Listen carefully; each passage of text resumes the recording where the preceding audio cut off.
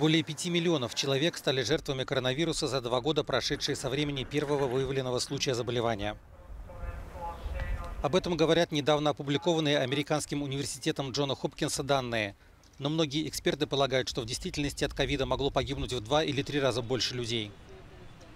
В связи с этим в Организации Объединенных Наций призывают обеспечить справедливую программу вакцинации во всем мире.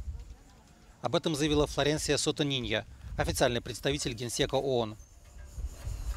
Генсек назвал глобальным позором то, что в богатых странах людям делают уже третью прививку от ковида, в то время как в Африке полностью вакцинированы лишь 5% населения.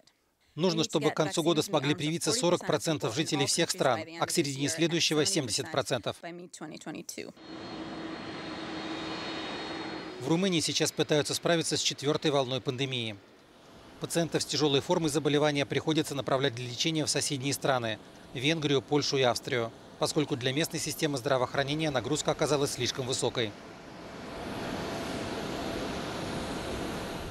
Всплеск заболевания наблюдается и в Нидерландах, где восстанавливают отмененные ранее ограничительные меры. Не исключено, что в общественных местах вновь нужно будет носить защитные маски. Чаще потребуется предъявлять сертификаты вакцинации.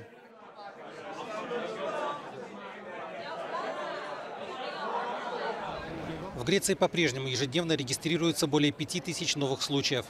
Причиной этому, по мнению экспертов, остается относительно низкий уровень вакцинации населения.